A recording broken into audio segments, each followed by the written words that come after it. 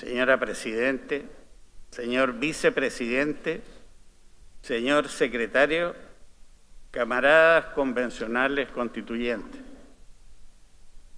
Yo soy una persona privilegiada. Soy privilegiado por haber tenido la suerte de nacer en Chile, un país que amo y de cuya historia y tradiciones y cultura me siento orgulloso. Soy un hombre privilegiado porque nací en un hogar formado por Pedro, un mayor de ejército de esos tiempos, y por Olga, una mujer maravillosa que en medio de las limitaciones económicas que vivíamos, se las arreglaba para proveer de lo básico, pero entregándonos a mí y a mi hermano mayor los principios y valores que nos permitieran enfrentar los desafíos del futuro. Soy un hombre privilegiado, porque luego de haber seguido a mi padre por distintas ciudades donde lo llevaba su profesión militar, tuve la oportunidad de ingresar a la Escuela Naval con 15 años de edad, un centro de estudios de particular exigencia donde se nos inculcaba el amor a nuestra patria para servirla hasta rendir la vida si fuese necesario. Y créanme que no fueron pocas las veces que sentí el peligro a que nos enfrentábamos frente a una naturaleza salvaje que nos obligaba a capear olas de 20 metros de altura que se nos venían encima golpeándonos con una energía difícil de describir. Pero esto que recuerdo marca el comienzo de una trayectoria de vida que fue cumpliendo las diferentes etapas, destinaciones, trasbordos, cursos de perfeccionamiento y exigencias físicas que a lo largo de 46 años me llevaron a ejercer el mando en jefe de la Armada de Chile. Un sueño impensado cuando el año 1955 ingresé al alma mater naval con un metro cincuenta y tres de estatura, uno de los tres cadetes más bajos de la unidad de formación. Pero más aún, el destino de este privilegiado marino lo llevaría a enfrentar un proceso no considerado en sus expectativas de vida como fue el participar en un proceso de elección popular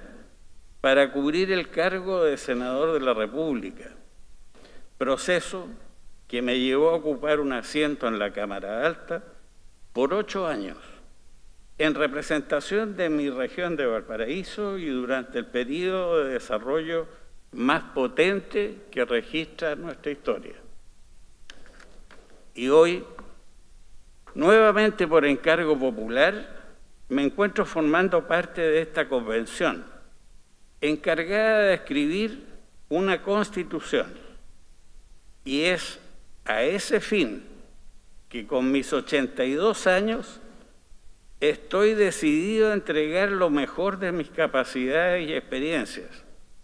porque se lo debo a Mónica, mi querida esposa, compañera y consejera de toda la vida porque quiero dejarle a Lorena, Verónica y José Antonio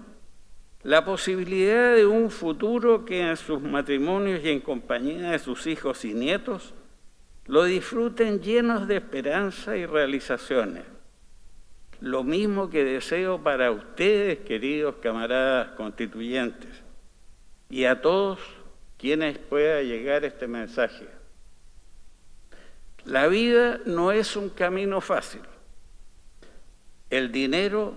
no hace la felicidad, ni mucho menos el resentimiento y la envidia.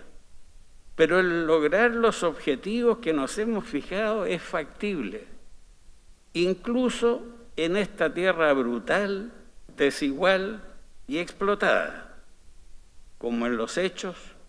lo demuestra este grupo diverso que es expresión de un Chile que viene de Arica a Parinacota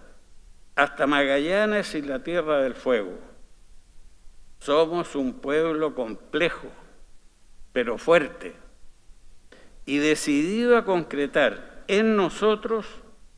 el sueño de un futuro en que los hombres y mujeres libres puedan forjar su vida en virtud de sus méritos y esfuerzos. Pero llegados a este punto es bueno recordar y hacerlo de tanto en tanto las palabras expresadas por ese Santo Padre que nos visitó hace algunos años y que nos dijo con elocuencia, el amor es más fuerte y es de esperar que sea ese sentimiento el que nos ilumine cuando escribamos los artículos de la nueva constitución, porque escuchándonos, respetándonos y queriéndonos como hijos de una tierra que llevamos en lo más profundo de nuestros corazones, es posible que seamos capaces de cumplir la tarea encomendada, que podrá ser agradecida porque le hicimos inspirados precisamente por la fuerza del amor. Muchas gracias.